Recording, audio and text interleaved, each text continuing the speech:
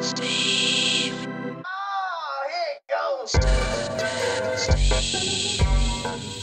Welcome back to the stage of history.